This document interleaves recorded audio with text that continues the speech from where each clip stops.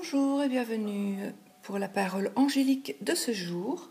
Et ce jour, les anges ont choisi parmi les messages d'amour de Jésus de Turin Virtue une carte que voici.